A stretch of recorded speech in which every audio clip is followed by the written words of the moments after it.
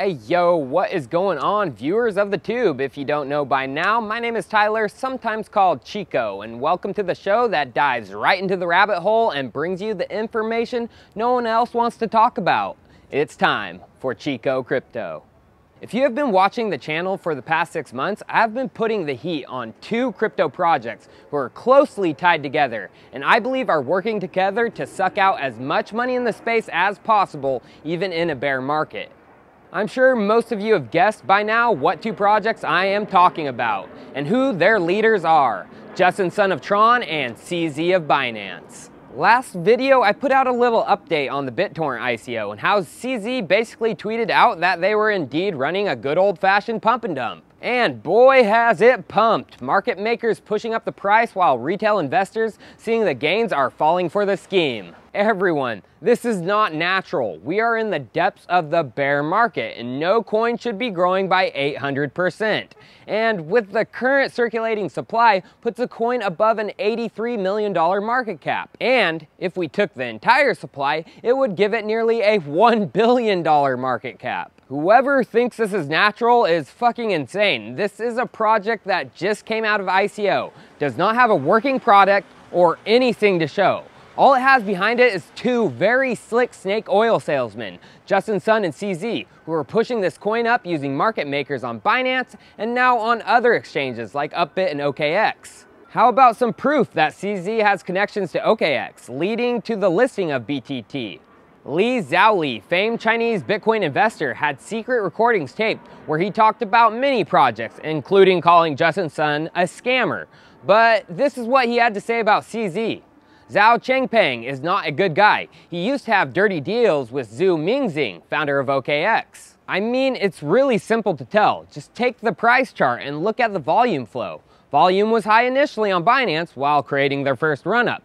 Then volume dropped off like a fly because no one gives a shit about this coin except Tron fanboys. Then new exchanges come in with new market makers and bot manipulation, and the volume explodes. Just look at the historical data. First days of trading, massive volume above 188 million, as Binance's market makers have their way with the price. Price dies as no one gives a shit to 33 million and then 16 million. Then here comes the market makers once again, 95 million. Next day, 357 million. And as of yesterday, above 641 million dollars. Unnatural? Oh hell yes. I mean, if these are really only the retail investors naturally pushing the price up, they wouldn't have waited for it to be added to an exchange from their country like OKEx or Upbit.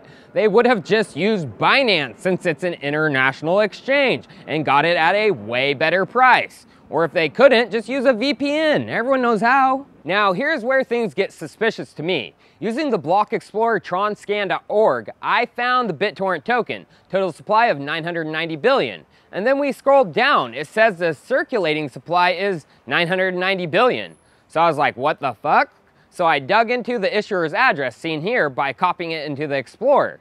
Change the slider to show non-TRX transactions. And yes, there are 76 pages of transfers from the issuer.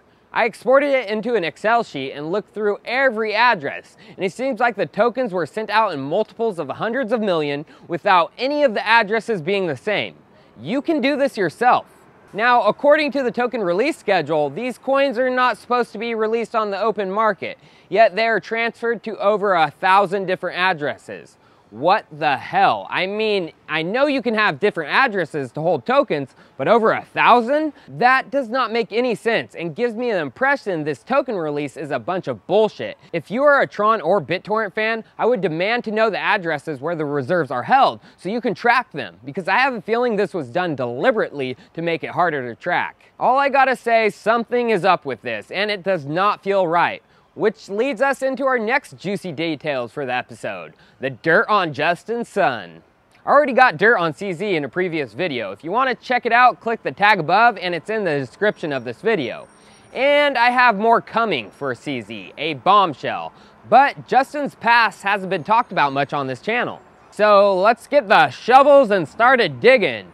What was Justin Sun doing before he started Tron? Well, of course, uh, hustling around and using a position he had to gain much more influence and sway, especially in China. Justin was hired by Ripple Labs in 2013 to be representative for the Chinese markets. Okay, nothing super weird about that. But Justin took it to another level, calling himself the CEO of Ripple, as seen in this video here. 一项呢是我们研发了分布式清算网络技术，可以为全球的金融机构呢提供跨境清算的服务。啊，我们同时呢又研发了一款产品，是现在匿名社交啊匿名语音社交产品，叫做陪我，是一个陪我 APP。创业是不可能和你现在的啊所学的东西相关的。这个原因是这样的，是因为人类的这个大学教育啊，它这个历史非常漫长，所以里面形成的学科呢都是非常成熟的啊学科才会在大学里面设立。而创业领域呢，是拓展人类的未知和拓展一些崭新的领域，需要创业的领域呢，全都是那些刚刚诞生的领域，所以它肯定不可能跟你的这个大学所学的专业是匹配的。你一定要去接触到那些真正欣赏你的投资人，每个人都有人一定会喜欢他啊，也有一定有人会讨厌他。所以如果你要遇到 Yes, I know it's in Chinese. I just want to show you proof. Here is a translation of an image when he says it. He says, Hello everyone, I am founder, CEO, and lead of board of Ripple. Straight up lying through his teeth. Need more proof he was lying his ass off to the Chinese media? In 2014, he was interviewed by the website wanbizu.com, and he says he is the founder and CEO of Rubio Technology. They ask him a question, which is translated to, What is the difference between Rubio and Bitcoin? And look at his reply.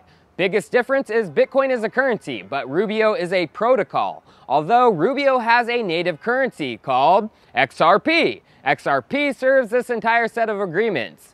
Then the interviewer, thinking he's CEO of actual Ripple, asks, How much do you pay yourself? How much is your monthly salary?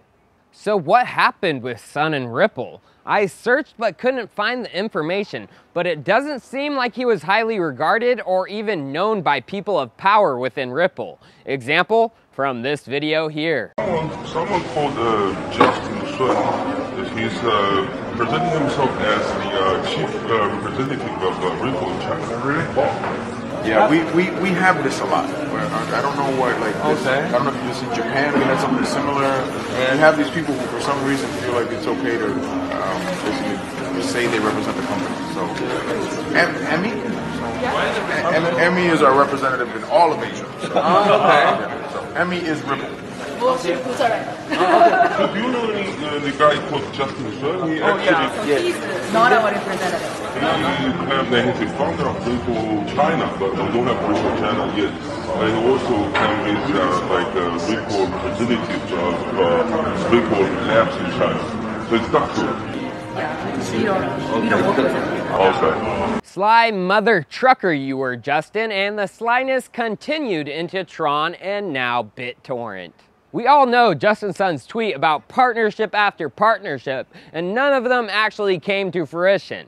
Now, some Tron fanboys are going to say I'm fudding. Well, how about that tweet where he says they are partnering with a NASDAQ listed company? Lead developer of Monero, Riccardo Spagni, agrees with me. He tweeted out, I speak out against intentional scammers, unintentional scammers, snake oil projects making provably false claims, projects that cannot possibly deliver, not to spread FUD, but because there is genuine damage being caused by these projects. Hell yes, Riccardo. Hell yes. The BitTorrent and Tron hustle is going to go down as one of the massive dumpster fires in crypto. Tron's code is absolutely garbage, and once Tron acquired BitTorrent, a mass exit of BitTorrent employees commenced, as seen in this Coindesk article. The reason? Concerns about the acquisition, as well as the direction proposed for the company by Tron leadership. Then, a couple weeks back, Simon Morris, who spent nearly a decade as executive with BitTorrent, said there is no way BitTorrent can run on top of Tron or handle the transaction volume. He then said it's basically a marketing machine layered on a very thin veneer of technology. Well, viewers, take what I say to heart because the more you dig, the worse it gets with these guys. And like Riccardo said, they are doing genuine damage to the space. Pure, unadulterated greed is fueling them, and the gas will eventually run out. Cheers, viewers. I'll see you next time.